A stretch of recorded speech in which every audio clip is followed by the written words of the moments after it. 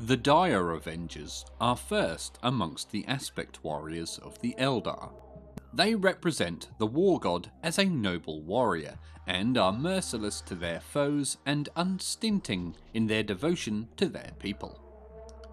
Most common of all the aspect warriors, the Dire Avengers can trace their line back to Asurmen, first of the Phoenix Lords. They are famed for being as deadly on the attack as they are stalwart in defence, and are widely regarded as the most tactically flexible of all the aspects.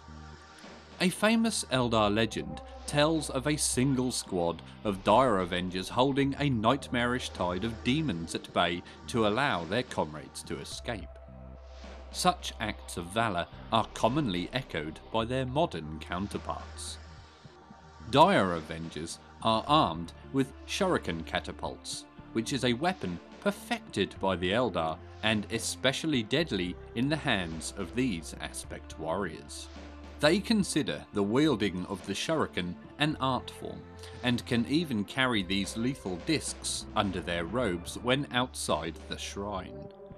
In this way, even an apparently unarmed Dire Avenger can slay an opponent with a swift gesture. When in battle, Dire Avengers use their shuriken catapults to create an impenetrable storm of monomolecular blades. They have an uncanny knack of knowing when to follow this onslaught with a lightning fast attack and when to carefully draw the enemy forward onto their blades. It is rare to find an Eldar force without a squad of these graceful warriors at its heart.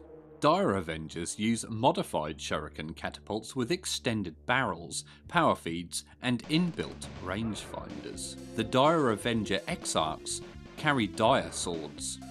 These weapons incorporate a spirit stone in the hilt that can sear the mind of the target. They also carry a shimmer shield. A shimmer shield is an advanced field projector that protects the user and his squad.